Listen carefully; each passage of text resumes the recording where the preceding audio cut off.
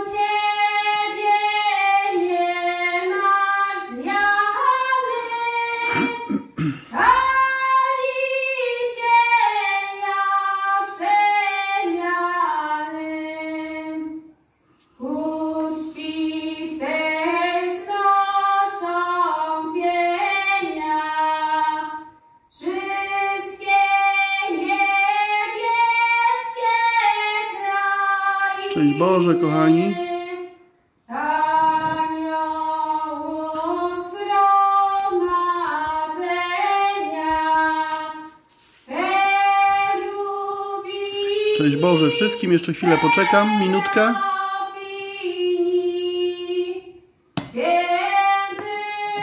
Zobaczcie, jaki kubek mam.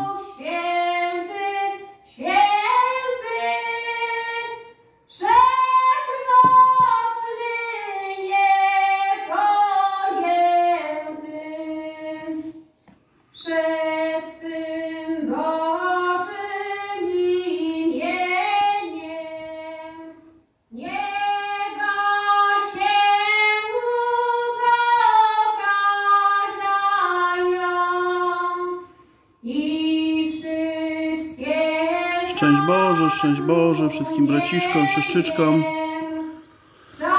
Zaraz zacznę. Hejo, hejo, Maja.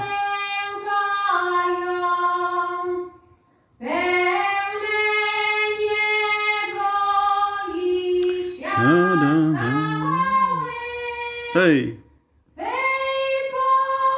szczęść Boże kochani, zapraszam do udostępniania tego live'a. Myślę, że, że to co chcę powiedzieć przyda się wielu osobom, które są smutne, zagubione, y, zdołowane, niegodne, nędzne i tkwią w grzechach y, już od dawna, z których nie mogą wyjść. Myślę, że dzisiaj Wam z Panem Jezusem coś rozświetlimy w sercach. Mam taką nadzieję. Jeszcze chwilkę. Jak błogo wiedzieć, Jezus jest mój, jakże ten pokój słodzi mi znój. On życie z nieba, wieczny w nim dział i odpuszczenie grzechów mi dał. Szczęść Boże, kochani, zapraszam do udostępniania tego live'a. Mm, Myślę, że ważne tematy poruszę dzisiaj. Nowe tematy, nowe rzeczy. I tak czuję, że to jest dla wszystkich, y, którzy tutaj są. To, że tu jesteś, to nie jest przypadek. Y, Myślę, że Pan Jezus Ciebie tu przyprowadził. O to się modliłem. Wierzę, że Pan Jezus też otworzy Twoje serce na to, co będę mówił. Co będę mówił, to już wie tylko Pan Bóg. Y, Ja do końca sam nie wiem, także, ale wiem, gdzieś mam w sercu troszkę objawionych rzeczy, troszkę informacji, którymi chciałbym się podzielić, fajnych. Także, kochani, moi kochani bracia i siostrzyczki kochane.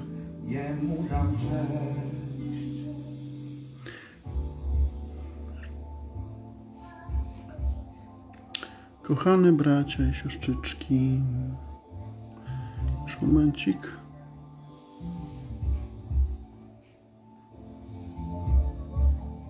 Kochani, e, a więc tak.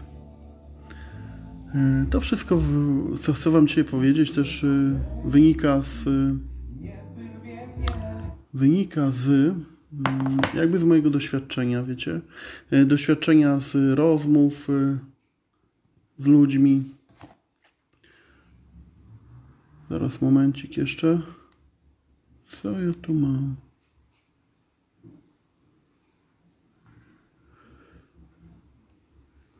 Doświadczenia z rozmów z ludźmi. Tak, to wynika z doświadczenia rozmów z ludźmi. Te doświadczenia daje mi Pan Bóg. Yy, no daje mi też po to, żebym się nimi dzielił. y, Jakieś tam spostrzeżenia. Wszystko, co, co, co jest, to jest od Pana Boga, jak wiecie. Ym, Spotykam ludzi y, często, którzy czują się niegodni. Myślę, że już wiele na ten temat zostało powiedziane, ale, ale mam y, coś w sercu jeszcze, co chciałbym powiedzieć. Y, Do ludzi, którzy czują się niegodni, splamieni grzechem lub tym, że ciągle wpadają w grzech, y, czy to masturbacji, czy nieczystości, ciągle wpadają w te same grzechy. I kochani,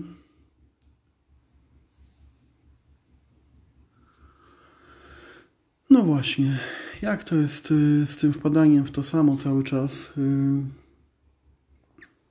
Panie Jezu, proszę Cię teraz, abyś y, Duchu Święty mówił przeze mnie, aby była cisza w domu, aby mógł się skupić, aby nic nie było, żadnych rozproszeń. Proszę Cię, Panie Boże, o to w imię Jezusa Chrystusa.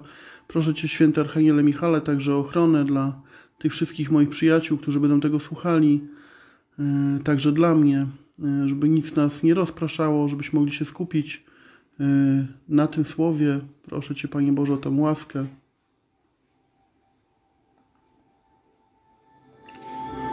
Kochani, y, modlitwa jest nam po to potrzebna też, y, żeby. Momencik. Aniu? Ty chcesz ze mną coś mówić? Bo... Tak? Bo jest tu 200 osób, może chce coś powiedzieć. Przywitać się? Pozdrawiam serdecznie wszystkich. Szczęść Boże, życzę błogosławionej niedzieli i udanego live'a z Arkiem. No bo ja słyszę tutaj, że coś, myślałem, że mnie wołasz albo coś. Dobra, kochani.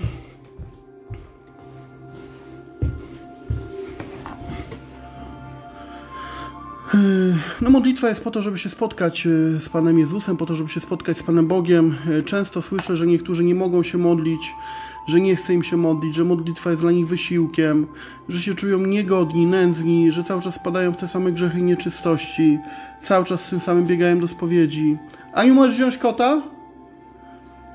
Że po prostu yy, wszystko im przeszkadza w, w tej modlitwie i że ona jest taka jałowa, wiecie, bez, y, bez, y, bez takiej głębi, nie? Że nie, mają takie wrażenie, jakby się nie spotykali z Panem Bogiem, nie?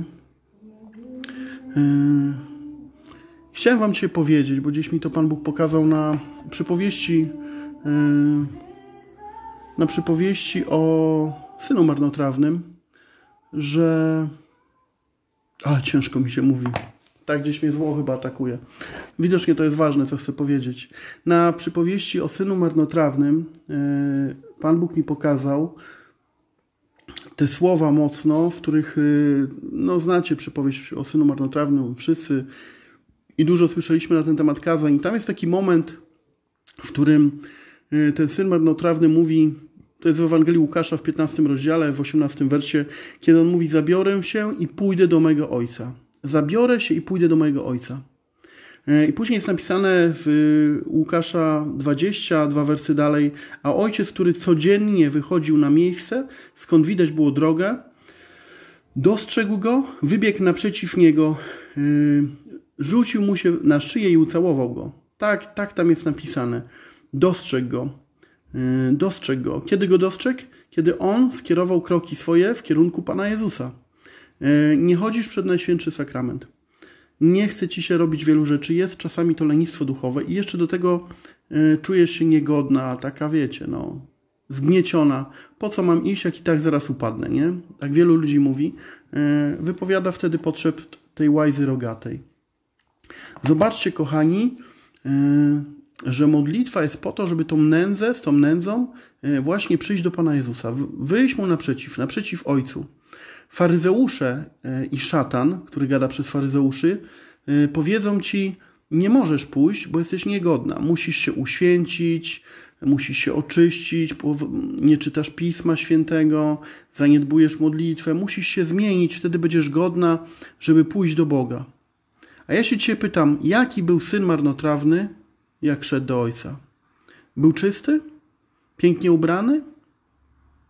Yy, nie. Poszedł w łachmanach, poszedł y, w tej swojej nędzy, z tym brudem, z syfem, największym syfem po prostu. Szedł do ojca. Wiecie dlaczego szedł? Bo stwierdził, że już po prostu tak nie może żyć. Szedł z tym y, brudem i to dopiero ojciec. Ojciec go przywitał, ojciec go oczyścił, ojciec dał mu y, nowe szaty, ojciec go uświęcił, ojciec wyprawił ucztę na jego cześć. Dopiero ojciec może spowodować, y, że ta twoja nędza przeminie. I szatan mówi: Nie możesz iść, y, bo jesteś nędzny, jesteś niegodny. A ojciec mówi: Przyjdź z tą nędzą, a ja tą nędzę od ciebie zabiorę. Uświęcę cię, dam ci nowe szaty, błyszczące, piękne, czyste. Będziesz świeży, będziesz miał inne spojrzenie. Przyjdź do mnie, przyjdźcie do mnie wszyscy, którzy utrudzeni jesteście, a ja was pokrzepię. A szatan mówi: Nie, nie możesz tak iść w takim stanie. Wczoraj piłeś, a w nocy uprawiałeś seks. Nie nadajesz się do tego kościoła, nigdzie nie idź. A Pan Bóg mówi: Właśnie takiego Cię kocham, takiego poturbowanego, takiego połamanego, takiego zgniecionego przez życie, takiego chorego, takiego obolałego, pełnego grzechów, upadającego. I dla Ciebie mam ucztę, przygotowaną ucztę. Wiecie, jakim faryzeuszem jest ten starszy syn, który mówi: "Y, Ale ja się na to nie zgadzam. Ja nie rozumiem. On chciał sprawiedliwości. On po prostu nie chciał miłosierdzia dla swojego brata. Kochani, y, całe niebo się cieszy z nawrócenia się jednego grzesznika. Całe niebo się cieszy. Co to znaczy? To znaczy, że cieszą się aniołowie, cieszy się ojciec Pio, Faustyna, cieszą się wszyscy święci, Jan Paweł II, cieszy się twoja babcia, twoja prababcia, pradziadek, cała twoja rodzina, która już tam jest. Cieszą się, kiedy ty w tej nędzy, w tej strasznej nędzy uznajesz miłosierdzie Pana Boga i idziesz do Niego. Idziesz do Niego, żeby ściągnął z ciebie te łachy, te brudne łachy.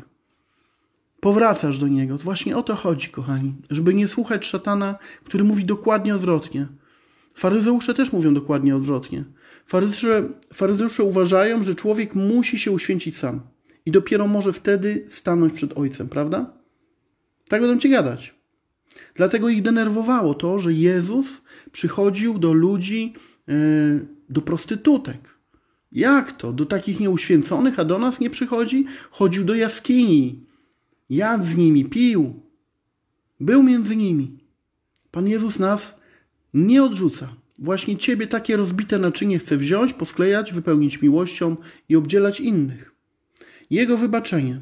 Czy jesteś w stanie przy, przyjąć Jego wybaczenie po prostu? To jest właśnie to miłosierdzie Pana Boga. Yy, Nie można sobie yy, na to zasłużyć. W to trzeba po prostu uwierzyć, że On aż tak nas kocha i że nas nie odrzuca, mimo tych wszystkich podszeptów yy, złego ducha. Yy, Uwierzenie właśnie w, w miłosierdzie Pana Boga, kochani, stanowi wartość w oczach Boga i radość w całym niebie. Moment, w którym Ty uwierzysz w miłosierdzie Pana Boga, stanowi radość dla całego nieba, dla Twoich bliskich, dla Pana Boga. To jest wartość. Wtedy jesteś bardzo wartościowym człowiekiem yy, w oczach Twojego Ojca, kiedy wierzysz w Jego miłosierdzie, nie boisz się i idziesz. Idziesz może z łzami w oczach, może yy, pokornie się uk- uklękniesz, ale idziesz, po prostu w, pomimo wszystko idziesz do Ojca. Rozumiesz? Nieuwierzenie w miłosierdzia jest czymś, nieuwierzenie w miłosierdzie jest czymś bardzo, bardzo złym. Bardzo, bardzo złym. E, I w to miłosierdzie nie mógł uwierzyć właśnie starszy syn, prawda? Właśnie w to miłosierdzie nie mógł uwierzyć starszy syn. E, I on był pełen e, jakiejś takiej złości. My tak często chcemy sprawiedliwości dla innych, e, a dla siebie miłosierdzia. Niestety tak jest, kochani. Niestety tak jest. Poczekajcie chwileczkę. To mi się tu wszystko poprzewracało. Napisałem sobie cytat. Gdzie on jest? Właśnie. W psalmie 51:12 mówimy Stwórz, o Boże, we mnie czyste serce. Stwórz, o Boże, we mnie czyste serce. No więc my prosimy Pana Boga, żeby stworzył w nas czyste serce, tak? Czyli y, jakie mamy serce? Mamy brudne, y, mamy pełne w łachmanach, w grzechach, pełne wątpliwości, lęku, właściwie wszystko nam dolega. I wtedy idziemy do Pana Jezusa i mówimy: Stwórz, o Boże, we mnie czyste serce.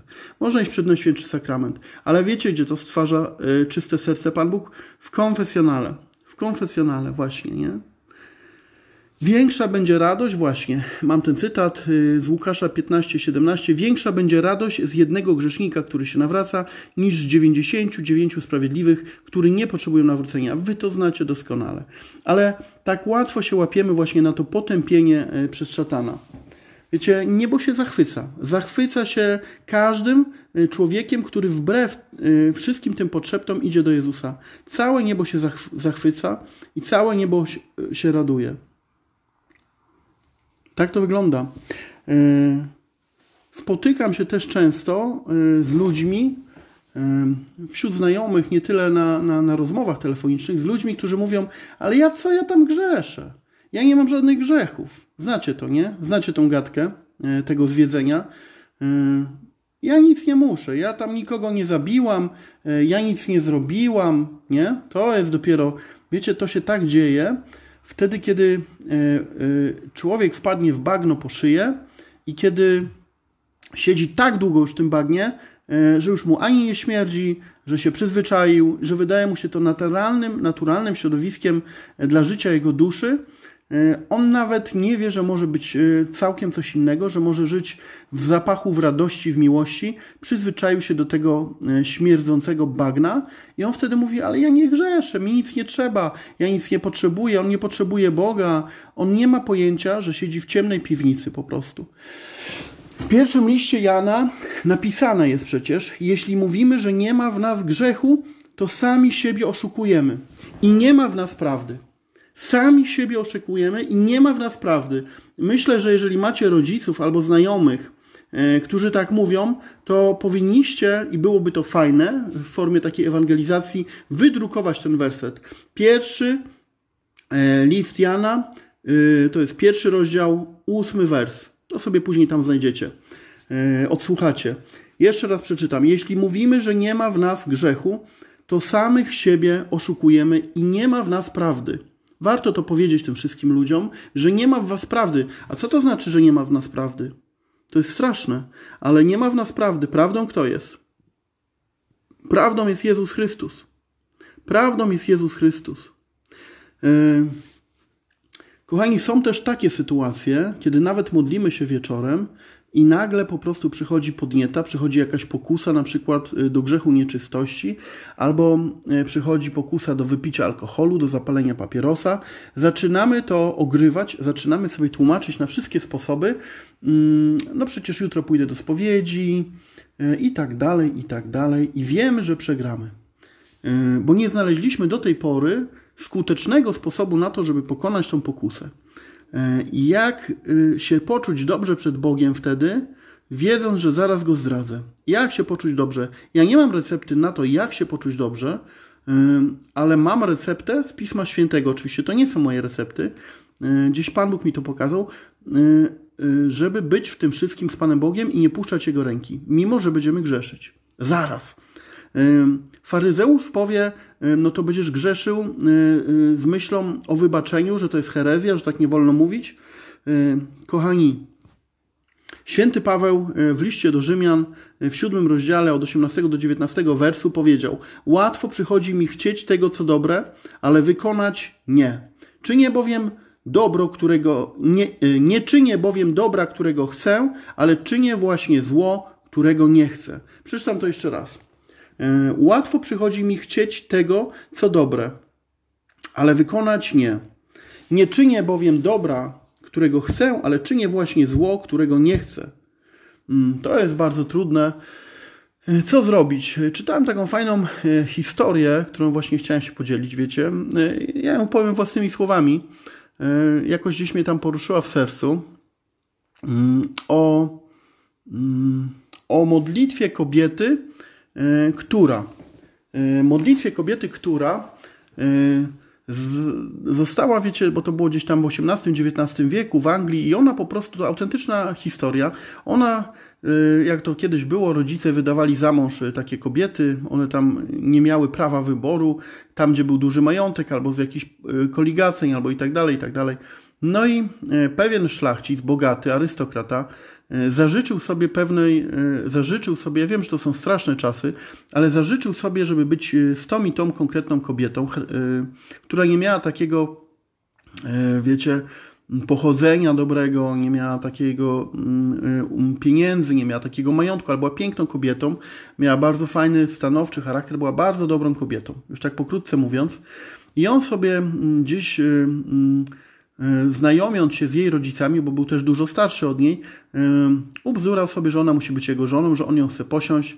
No i ci rodzice y, biedni y, i trochę chyba niemądrzy, y, wy postanowili wydać ją za mąż właśnie za tego murgrabiego, hrabiego, y, wbrew nawet jej woli. No ale mm, mieli za to obiecany majątek, mieli za to obiecane różne rzeczy. No i ta córka jakby z tej y, rzeczy, z tej przyczyny zgodziła się na to wszystko. W każdym bądź razie, coś za dużo gadam, w, każd- w każdym bądź razie y, wyszła za niego za mąż, zamieszkali razem. I pewnego dnia, y, bo oni mieszkali nad morzem, pewnego dnia gdzieś tam u wybrzeży rozbił się statek. Rozbił się statek i y, z tego statku rozbitek, szukając pomocy, zapukał do ich drzwi. Zapukał do ich drzwi, był to bardzo przystojny mężczyzna, y, średniego stanu, nie był jakimś burgrabią, bogatym, szlachcicem, nikim takim, ale zapukał do ich drzwi i oni y, pozwolili mu się skryć u, u nich w domu, skryć, zaopiekowali się nim, dali mu jedzenie, picie, mm, dali mu wałówę i on wyruszył już inną drogą do swojego domu. Gdzieś tam y, po prostu mieszkał. Y, Z drugiej strony przypłynął statkiem, który się rozbił o skały. Udało się mu przeżyć. y, Był poraniony, oni go opatrzyli. No i ta kobieta zakochała się w nim. Zabujała się po prostu całkowicie. Straciła głowę dla niego. I cokolwiek robiła z tym murgrabią, czy jadła śniadanie, czy kolację, cały czas miała w głowie tego mężczyznę. Tyle, że to była kobieta nawrócona, to była chrześcijanka, to była porządna kobieta. I ona wiedziała, że nie może o nim myśleć. Że nie może o nim myśleć, bo oto jest tutaj jej mąż już y, kościelny, jest sakrament. Nie może o nim myśleć. I wiecie, y, bardzo mocno, y, bardzo mocno walczyła w sercu, żeby o nim nie myśleć. Kiedy kochała się z tym murgrabią, żeby nie wspominać, nie wyobrażać sobie, że to tamten mężczyzna. Walczyła. Ale pomimo y, tego, co wiedziała, że jest Boże, tak jak święty Paweł tutaj pisze, że łatwo przychodzi mi chcieć tego, co dobre, ale wykonać nie. Nie czynię bowiem dobra, które chcę, ale czynię właśnie zło, którego nie chcę. Uległa tym pokusom. Uległa tej gorączce, tej namiętności, y, okłamała tego murgrabiego i powiedziała, że jedzie gdzieś tam do znajomych, do koleżanki, a miała w głowie, że jedzie rzucić się w ramiona temu facetowi i oddać mu się cała. E, i toczyła walkę. Wyszła z domu i poszła. e, Możecie się utożsamiać z tą sytuacją analogicznie do różnych innych sytuacji. Ona, wiecie, poszła do kościoła. Poszła, klęknęła przed Najświętszą Maryją. e, klęknęła przed Najświętszą Matką Bożą i zaczęła modlić się w ten sposób. Mam tą modlitwę jej, wiecie? Ta modlitwa została spisana, chciałem wam ją przeczytać. Jest niesamowita ta modlitwa, niektórych y, zdenerwuje, y, zwłaszcza faryzeuszy, niektórych y, rozdrażni, ale ja ją wam przeczytam i później jakby wytłumaczę wam, jakie jest wyjście. Co ona zrobiła ta kobieta? Bo ona zgrzeszyła, ona upadła, ale to nie o to chodzi. Ona modliła się tak. A więc póki jeszcze czas, trzymając w jednej ręce swe serce, a w drugiej trzewiczek, Oddaję się Tobie, dziewico matko, oddaję Ci mój trzewiczek, dziewico matko, zatrzymaj w swej ręce mą stopę. Uprzedzam Cię, że za chwilę nie będę Cię widziała i zacznę działać wbrew Tobie. Lecz kiedy zechcę wejść na złą drogę, niech wejdę na nią kulejąc. Kiedy zechcę przekroczyć barierę, którą ustanowiłaś, niechaj będę jak ptak z podciętym skrzydłem. Zrobiłam, co mogłam, a ty zachowaj mój trzewiczek. Zachowaj go przy swoim sercu, o wielka, wspaniała matko. E, Mnie to wzrusza, wiecie, bo ona mm, totalnie była rozdarta. Wiedziała, że zaraz y, y, popełni grzech, jednocześnie y, wyraziła wolę w sercu. Panie Boże, święta Maryjo, zrób cokolwiek. Nawet żeby mi ręce miały odpaść, żeby miała oślep, cokolwiek, żeby mnie powstrzymać. I wiecie, y, y, czytamy nieustannie się módlcie, czytamy też w Piśmie Świętym w każdym położeniu się módlcie. Szatan w momencie, kiedy y, jesteś już właśnie w tej tragicznej sytuacji, ci mówi nie módl się teraz, bo teraz to nie wypada. To jest obłuda. Idziesz pod prysznic, kąpiesz się, nie módl się, bo to jest brak szacunku do Boga. E, robisz inne rzeczy, nie módl się, bo to jest brak szacunku do Boga. A Bóg mówi: zaproś mnie do swoich ciemności. Nawet kiedy będziesz w grzechu, wołaj do mnie. Wiecie dlaczego to jest tak ważne? Bo Pan Bóg wtedy dla ciebie wyciągnie naukę e, z tego upadku. On będzie z tobą w tym upadku. On będzie cię asekurował. Ty sobie nie rozbijesz głowy, upadniesz, on ci da wielką skruchę wtedy w sercu. Jeżeli tylko go nie zostawisz, nie wolno go zostawiać, chociaż okryjesz się wstydem, chociaż lepiej się schować pod kołdrę i tam grzeszyć, chociaż lepiej zgasić światło, pamiętaj, że i tak cię widzi, i tak widzi twoje serce. I mówi w każdym położeniu się módl. Jak ta dziewczyna właśnie. Żebym miała być podkulawiona. Panie Boże, żebym miała e, się rozchorować, zrób ze mną co chcesz, ale nie zostawiaj Pana Boga. Nie zostawiaj Pana Boga. To jest tak ważne, kochani. Mm, Tym się chciałem z Wami podzielić, tą e, opowieścią i nie tylko. E, Nie mamy często spełnić e, siły tego, co mówi Pismo Święte. Mm, Nie mamy często siły spełnić tego wszystkiego, ale mamy tą siłę od Pana Boga, żeby Go wzywać do tego wszystkiego. Jeżeli nie masz siły, to proś Pana Boga o siłę. Po prostu proś, Panie Boże, daj mi siłę, żebym mogła spełnić Twoją wolę. Jeżeli nie masz siły prosić o siłę, to proś Pana Boga, żebyś mogła prosić. Panie Boże, proszę Cię, daj mi łaskę, żebym mogła Cię prosić. Żebym mogła Cię prosić o siłę. E, Wiecie, jeżeli nie masz nawet siły prosić o tą łaskę, to możesz zawsze poprosić o to, żebyś umiała prosić. E, O najmniejszą rzecz. Żebyś tylko się zahaczyła, zahaczył o Pana Boga. Kochani, zapisałem sobie takie zdanie, dzisiaj usłyszałem w sercu. Jeżeli zaczniesz prosić Boga, wyjednasz u Boga pragnienie większe i większe, a to spowoduje prośbę z głębi serca o nienawiść do grzechu. E, Nie wiem, czy to jest zrozumiałe, przeczytam jeszcze raz. Jeżeli zaczniesz tylko prosić Boga, wyjednasz większe pragnienie dla siebie, a to spowoduje prośbę z głębi Twojego serca, żebyś miała, miał nienawiść do grzechu. Tylko zacznij prosić. E, e, Opowiem Wam taką e, też historyjkę, którą gdzieś czytałem w jakiejś książce. Kochani, mm, jest niesamowita historia odnosząca się do tego, co przed chwilą powiedziałem, a może Wam to bardziej zobrazuje, jakoś bardziej zapamiętacie to, co mówię. Gdzieś tam w jakimś państwie budowano w XVII czy w którymś wieku olbrzymi komin. Ten komin miał mieć kilkadziesiąt metrów, był bardzo potrzebny przy fabryce, która powstawała. Do, tego, e, do budowy tego komina zatrudniono kilkadziesiąt osób. I wiecie, jak to kiedyś było? E, Postawiono e, rusztowania. E, Te rusztowania stawiano przez e, dzień, dwa, nie. Rusztowania stawiano przez kilka tygodni e, i budowano w tych rusztowaniach wewnątrz komin. Wreszcie komin został e, zbudowany, te rusztowania wkoło tego komina stały i zebrał się tłum ludzi, zebrało się całe miasto i oni wszyscy zaczęli świętować e, z radości, że ten komin jest.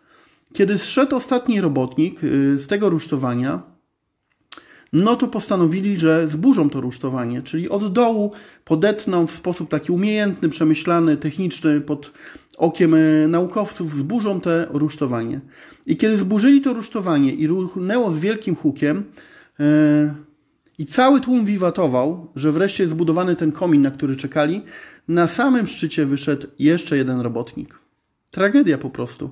Wyszedł jeszcze jeden robotnik, on siedział w kominie, Przysnął tam, e, czyścił ten komin od środka, wyszedł robotnik i w całym tym tłumie zapanowała totalna cisza. Co teraz? Boże, tym bardziej, że to była późna jesień i było zimno. Oni od razu wszyscy pomyśleli, że on po prostu tam umrze, że już go nie ściągną z tego komina, że nie uruchomią tej fabryki, e, fabryki ciepła, że nic po prostu nie będą mogli zrobić. Mm, Wpa- wpadli w taką panikę, że on umrze po prostu z głodu. I zaczęli szukać sposobu. I nagle i to jest tak z naszym grzechem, e, że my, wiecie, kochani, kompletnie nie widzimy e, sensu, nie widzimy już drogi, nie widzimy wyjścia, wszystko jest bez sensu. I nagle jego matka, e, tego robotnika, wyobraźcie sobie, w tłumie krzyczy. Mnie to strasznie wzrusza, bo to jest też mądrość Matki Bożej, nie? To jest taka analogia do mądrości Matki Bożej. Ona zaczyna krzyczeć z miłości do tego syna, on miał na imię John. To jest autentyczna historia, którą czytałem. Ona krzyczy John, John e, i cały ten tłum się uciszył, bo wiedzieli, że to jest jego matka. Ten John tam nasłuchuje i ona krzyczy do niego ściągnij skarpetkę. Ściągnij skarpetkę. Co cały tłum pomyślał wtedy? Cały tłum pomyślał, że ta kobieta zwariowała po prostu. Z tego bólu, z tego żalu, e, z tego stresu, z tej historii zwariowała, oszalała. Co ona do niego krzyczy? Czy teraz syn będzie posłuszny matce? Czy syn da radę być posłuszny matce wbrew całkowicie logice, wbrew wszystkim uśmiechom z tego tłumu? To były uśmiechy takie godne po, politowania dla tej matki. Co ona wyprawia? Skarpetkę ma ściągnąć? Po co? Po co ma skarpetkę ściągnąć? I często Pan Bóg chce, żebyś ściągnęła skarpetkę, żebyś zrobiła coś, co ci się wydaje w ogóle nielogiczne, ale jest początkiem rozwiązania Twoich wszystkich problemów. Co zrobił ten John? On był posłuszny. I on powiedział: OK, mamo, dobra, nie chciał zasmucać mamy. Ściągnął na oczach całego tłumu, a to jest bardzo trudne zrobić to na oczach całego tłumu, ściągnął tą skarpetkę. Co mama zaczęła krzyczeć do niego? Jak myślicie? Macie jakiś pomysł? Jak myślicie? Po co miał ściągnąć tą skarpetkę? Matka zaczęła krzyczeć do niego: yy, Zacznij pruć od zewnątrz tą skarpetkę i zrób kłębek nitki. I on zaczął to robić, ale mówi, jaki to jest bezsens, przecież ja po tej nitce nie zejdę, ja nic nie zrobię. On zaczął pruć to po prostu na oczach wszystkich ludzi. Oni patrzyli z politowaniem na tą matkę, z politowaniem na tego syna. I wiecie co? Jak spruł, to matka krzyknęła, rozwiń tą nitkę. Rozwiń tą nitkę. I ta nitka zeszła aż do samego dołu, do samej ziemi. Przywiązali do niej grubszą nitkę. I matka krzyczała: Wciągaj tą nitkę, cienką, wciągaj. I on zaczął wciągać, była grubsza nitka. Później przywiązali e, cienki sznurek, później gruby sznur, a na końcu linę. On miał tylko przywiązać tą linę na szczycie tego komina i zejść po tej linie. I dała mu rozwiązanie matka, która była dla wszystkich e, wtedy w ich oczach obłąkana, zwariowana. I dzisiaj Bóg ci daje e, takie rozwiązanie, mówi do ciebie: ściągnij tę skarpetkę. Mówi być może do ciebie coś innego, ale czy jesteś czuła na ten głos? Czy jesteś w stanie zrobić coś, co wobec y, Twojego rozumu wydaje się irracjonalne, a może być wyjściem dla Ciebie z tego labiryntu? Właśnie taki jest Pan Bóg. Właśnie taki jest Pan Bóg. Często daje nam rozwiązania, a my po prostu w swojej pysze, w swojej pysze, bo uznajemy, że przecież y, to nic nam nie da, odrzucamy go. Odrzucamy te rozwiązania. Często przychodzi ktoś do nas, y, bo często Pan Bóg przychodzi przez kogoś do nas i my w swojej pysze, kochani, odrzucamy Pana Boga. Czy to nie jest straszne? Y, Odrzucamy Pana Boga w swojej pysze. I dzisiaj ja chciałem do Ciebie właśnie powiedzieć, y, żebyś nie czuła się, nie czuł się potępiony, y, żebyś w swojej pysze nie odrzucała żadnego rozwiązania, które przyniesie Ci ksiądz, które przyniesie Ci znajomy, przyjaciel, bo być może to rozwiązanie dotyczące ściągnięcia skarpetki jest dla Ciebie wielkim błogosławieństwem. Pamiętaj o tym. Dla każdego wierzącego błogosławieństwem jest Pismo Święte. I jest sam fakt, że masz Biblię w domu, jest olbrzymim błogosławieństwem, bo tam są wszystkie rozwiązania na wszystkie Twoje problemy. Tylko czy tam zaglądasz, nie? To jest cały czas rozmowa o tym, czy tam zaglądasz. Czy dociera do Ciebie to, co dzisiaj mówię? Czy docierają do Ciebie te fragmenty z Pisma Świętego? Święty Paweł walczył z grzechem i nie mógł robić tego, co chciał, a robił to, czego nie chciał. I był tego świadomy, ale krzyczał to do Boga i mówił to publicznie. I nie bał się, nie wstydził się, nie ukrywał tego pod kołdrą, bo grzech obnażony, diabeł obnażony, demony obnażone tracą swoją moc, tracą swoją siłę. Pamiętaj o tym, przyjacielu. Nie kryj się, nie zamykaj się z grzechem pod kołdrą. Wyjdź z tym, wyjdź z tym do kogoś, kto ci może pomóc. Wyjdź z tym przed Najświętszy Sakrament. Szukaj rozwiązań, szukaj tej kobiety, która krzyknie do ciebie: ściągnij skarpetkę. Możesz pójść do Matki Bożej. Ona jest Twoją matką. Ona dokładnie wie, co masz zrobić, żeby Ci pomóc, żeby Cię wyciągnąć, żeby dać Ci rozwiązanie. Amen? Kochani, to chciałem Wam powiedzieć. E, Tym chciałem się podzielić dzisiaj.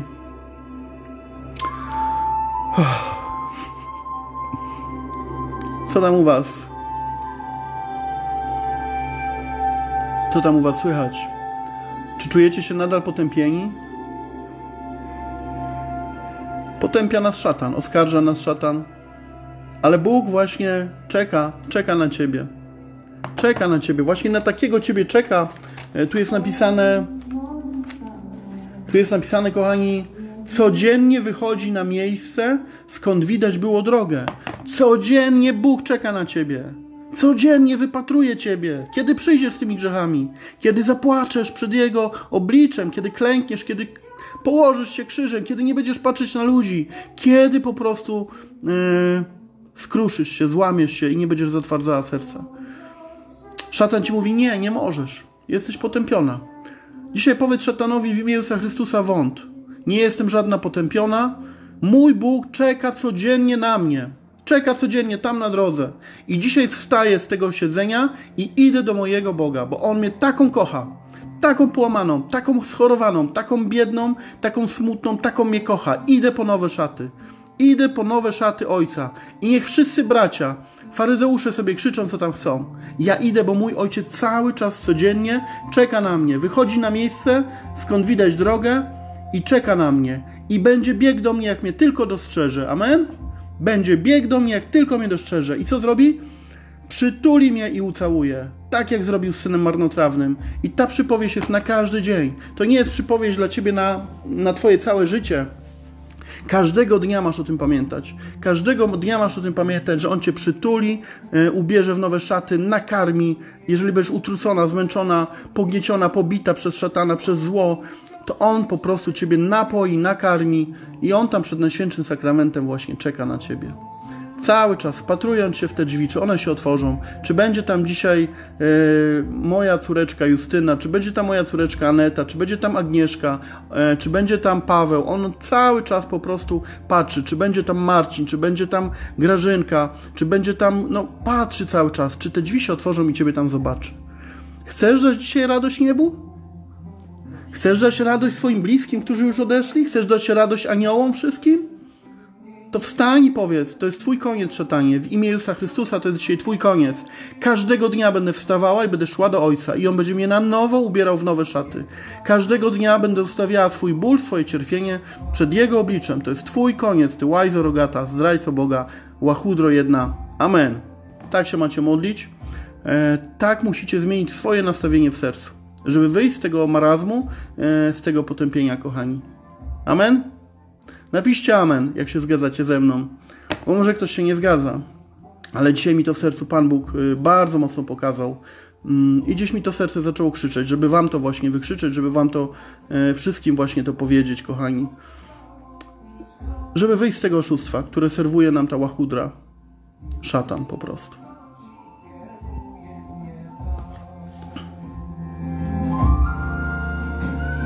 Kocham was.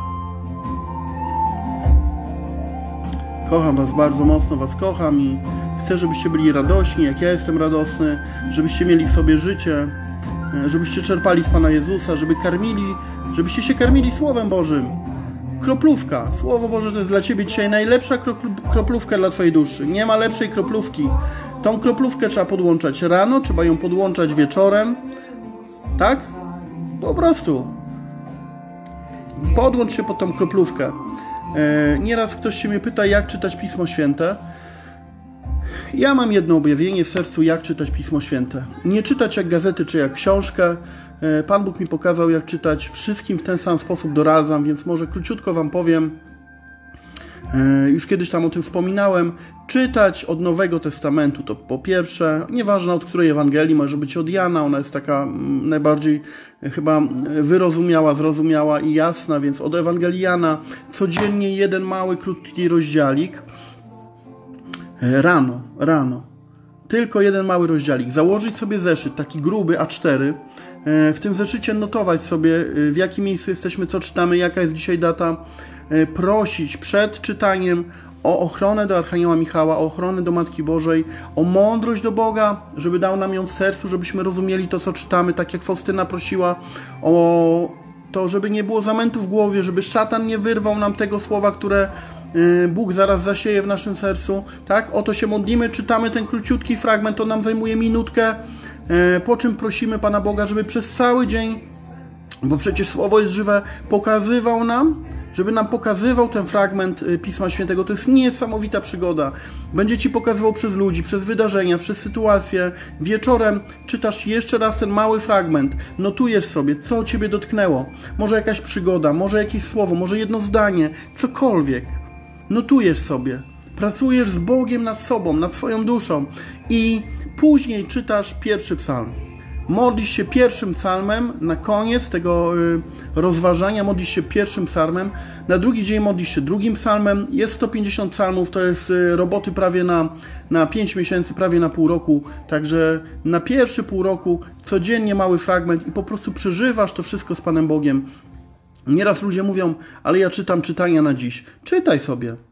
Czytaj sobie czytanie na dziś, ale idź w Piśmie Świętym krok po kroku, krok po kroku, krok po kroku, zbliżaj się do Pana Boga, zobaczysz jak ta kroplówka już po tygodniu, po dwóch tygodniach, jak zmieni Twoją duszę, jak dużo wleje w nią y, y, Pan Jezus. Pamiętaj, że przez Słowo zostałaś stworzony, zostałaś, zostałeś stworzony przez Słowo i do Słowa musisz wrócić. Musisz wrócić do Słowa, do Ducha Świętego. To Słowo Boże to jest Duch Święty. Musisz do tego wrócić. Nie ma innej możliwości. Amen? No. Kochani, niech Pan Jezus Wam błogosławi e, dzisiaj ten dzień, niech Wam błogosławi tą niedzielę. Mm, Wiem, że jest dużo też ludzi, bo bardzo, bardzo dużo ludzi do mnie pisze, e, zwłaszcza kobiet, e, których mężowie piją alkohol. Bardzo dużo jest takich osób, które cierpią z powodu nadużywania alkoholu w rodzinie. I wiecie co? I najtrudniej Wam właśnie, którzy cierpicie z tego powodu, którzy blisko jesteście tego alkoholizmu, ym, którzy zanosicie najwięcej modlitw o uratowanie tej osoby, niestety najtrudniej Wam jest uwierzyć w to, że to się stanie. Zauważyłem to. Łatwiej jest uwierzyć e, mi, że Twój mąż przestanie pić, niż Tobie, mimo że modlisz się na nowennie, na różańcu i od wielu lat przyjmujesz komunię za niego, niż Tobie, mimo że się tak dużo modlisz, w to, że to się stanie z dnia na dzień. Yy, Nie wiem, tak jest po prostu. Zauważyłem to, kochani. Zauważyłem to. yy, Będę modlił się z miłą chęcią, z radością będę się modlił za tych, którzy piją w waszych rodzinach. Yy, Piszcie do mnie. Ja czasami odpiszę jednym słowem, że się pomodlę, ale zauważyłem, że to westchnienie, krótkie westchnienie wiary uruchamia wszystkie te wasze modlitwy i one spadają na głowy tych ludzi, którzy piją. Jakby żadna modlitwa wasza nie jest zmarnowana, ale jakby Pan Bóg mi daje taką, wiecie, wtyczkę za tyczkę. Ja tylko biorę i wypuszczam i to wszystko zlatuje na głowę tej osoby, y, za którą modlitwy były zanoszone. Przez łaskę wiary. Y, Łatwiej wam się by było modlić za kogoś obcego o wyjście z alkoholizmu i pewnie owoc byłby szybszy niż za tego, który siedzi w domu. Bo jak się naoglądasz, nasłuchasz, e, tej nędzy i- e, i tego wszystkiego, to ciężko jest uwierzyć, że e, z 14 na 15 on może to wszystko rzucić. Ciężko jest uwierzyć, że z torku na środę może rzucić całkowicie alkohol. Dlatego zachęcam Was, e, nie tylko mnie proście, ale proście, e, proście o modlitwę e, przyjaciół, żeby uruchomili, wyciągnęli tą wtyczkę, żeby te wszystkie modlitwy, które zanieśliście do Boga do tej pory, a niektórzy naprawdę całe tony tego zanieśli, żeby one wszystkie dzisiaj wylały się na serca tych ludzi, którzy mają problem z alkoholem. Amen? To też mi dzisiaj Pan Bóg pokazał. I jeszcze inne rzeczy mi pokazał, ale już yy, myślę, że za dużo nie będę mówił. Yy, na dzisiaj myślę, że wystarczy. Ko kochani moi, kubek. No mam taki kubek, dostałem w prezencie kubek. Widzicie? Bóg mnie kocha. Dostałem jeszcze yy, taki fajny prezent. Prezent, prezent. Yy, zobaczcie, taką podusię dostałem. Taką podusię dostałem. Bóg mnie kocha. Ja po prostu mam wszędzie. Na poduszkach, w sercu, w kubkach, w naczyniach, e, na naklejkach, na samochodzie. e, To hasło Bóg mnie kocha. Jeżeli Ci jest ciężko, powtórz to kilka razy. Powtórz to na głos e, przed Najświętszym Sakramentem albo klęcząc przed Panem Bogiem i niech ta prawda wielka do Twojego serca dzisiaj dotrze, że Bóg Ciebie kocha, że Bóg Ciebie nie odrzuca, że to Bóg Ciebie uświęca. E, Nie tak jak faryzeusze mówią, czy szatan, że musi się uświęcić, żeby pójść do Boga, bo jesteś niegodna. Nie. Masz iść taka właśnie brudna, nędzna i niegodna, bo Bóg na ciebie czeka i wypatruje ciebie. Amen. Kocham was, kochani. E, Zapamiętajcie sobie te słowa w serduszkach. w imię Jezusa Chrystusa, niech zły duch nikomu nie ukradnie tych słów. Panie Boże, proszę Cię teraz, Ojcze, o łaskę, żeby te słowa rozrosły się do pięknych ogrodów, do pięknych e, kwiatów w ich sercach. Ty jesteś ogrodnikiem w ich sercach. Proszę Cię, Panie Boże, o pielęgnację tych słów, które dzisiaj, które dzisiaj wykrzyczeliśmy do nich. Proszę Cię, Panie Boże. E, Proszę Cię, Panie Jezu, żeby ta ziemia była żyzna, na którą te słowa spadną. Proszę Cię, Panie Jezu, żeby żadna z tych osób, które to słuchają, żadna e, nie zgubiła tych słów, nie zgubiła tego wszystkiego, co dzisiaj usłyszała. Amen. Proszę Cię też, Panie Boże, o łaskę pokoju na cały ten dzień dla wszystkich moich przyjaciół. Proszę Cię, Panie Jezu, i dzielę się tym pokojem, który Ty mi dajesz teraz. Dzielę się ze wszystkimi, którzy y, siedzą, którzy tego live'a słuchają i którzy będą tego live'a słuchać. Amen. Panie Jezu, proszę Cię też o opiekę Matki Bożej nad tymi, którzy ją czczą, e, a także nad tymi, którzy jej nie czczą, zwłaszcza nad tymi. Proszę Cię, Panie Boże, o taką opiekę, ochronę przed wszelkim złem, e, przed wszelkimi atakami złego ducha, przed wszelkimi rozproszeniami. Proszę Cię, Maryjo, o taką opiekę, żeby ten dzień dla nich wszystkich był spokojny, żeby był radosny i żeby w ich dniu, w ich duszy, w tym dzisiejszym dniu świeciło wielkie, piękne światło. Panie Boże, proszę Cię też za tymi wszystkimi, e, którzy chorują na COVID, chorują teraz na różne choroby, a słyszą mnie. Proszę Cię, Ojcze, w imię Jezusa Chrystusa, proszę Cię, Panie Boże, o uzdrowienie teraz, o uzdrowienie w tym momencie, teraz, w tym momencie. Jak słyszą te słowa, proszę Cię, Panie Jezu, żeby wszelkie komórki w ich organizmie zaczęły zwalczać e, z przepotężną siłą e, wszystko, y, co jest złe w ich organizmie. Proszę Cię o taką moc Bożą, o takie światełka w tych komórkach, żeby teraz, Panie Jezu, w ich sercach, w ich płucach mm, nastąpiła walka, żeby wytworzyły się olbrzymie przeciwciała, olbrzymia armia, która zwalczy wszelką chorobę. Czy to jest rak, co, cokolwiek to jest. Proszę Cię, Panie Boże, o tą łaskę. Wierzę, że tą łaskę teraz dajesz i że zaczyna się olbrzymia walka w ich organizmie o zwalczenie, całkowite zwalczenie, pognanie tej choroby, która nie jest od Ciebie. Wierzę, Panie Boże, że Twój Duch, Święty Duch, przegoni wszelkie zło. Święty Archaniele Michale, proszę Cię też o ochronę dla tych moich przyjaciół, e, którzy teraz tego słuchają, będą słuchać. Proszę Cię, przyjacielu, odwiedź dzisiaj każdego e, i daj im tylu aniołów stróżów na ten dzień, ile potrzeba im. Daj im tylu aniołów, ilu im potrzeba. Dziękuję też wszystkim aniołom stróżom, którzy teraz stoją koło tych, którzy mnie oglądają na telefonach, na laptopach, na pantopach, nie wiem na czym. Dziękuję Wam, święci aniołowie stróżowie, bo wiem, że mnie teraz słyszycie. Dziękuję Wam za to, że jesteście z nami. Niech Pan Bóg, niech Pan Jezus będzie uwielbiony w Waszych y, duszach, w Waszych sercach. Niech Pan Bóg będzie uwielbiony teraz we wszystkich aniołach stróżach, e, które to słyszą, które to widzą. Dziękujemy Wam bardzo za wszystko, co dla nas robicie. Amen.